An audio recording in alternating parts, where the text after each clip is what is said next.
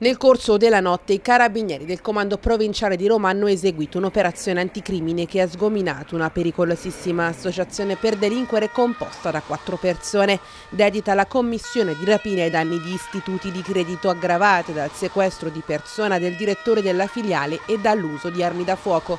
Sono state nella circostanza attribuite alla banda 11 rapine commesse nell'arco temporale di un anno per un bottivo complessivo di circa un milione e mezzo di euro.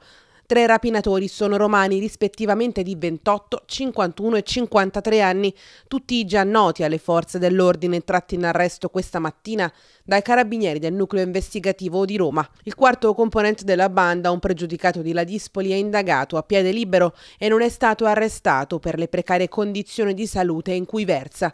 I tre romani erano già stati arrestati in flagranza di reato il 22 ottobre dello scorso anno, mentre stavano per mettere a segno un colpo presso la filiale della Banca Monte dei Paschi di Siena di via Pompeo Neri a Roma, in zona Vigna Stelluti.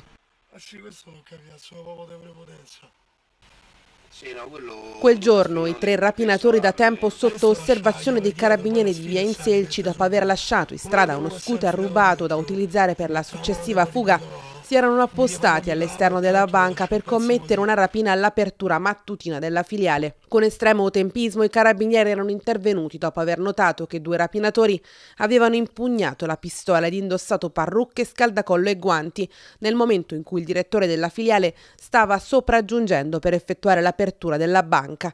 Il terzo uomo si era invece sistemato in posizione defilata per svolgere le funzioni di palo.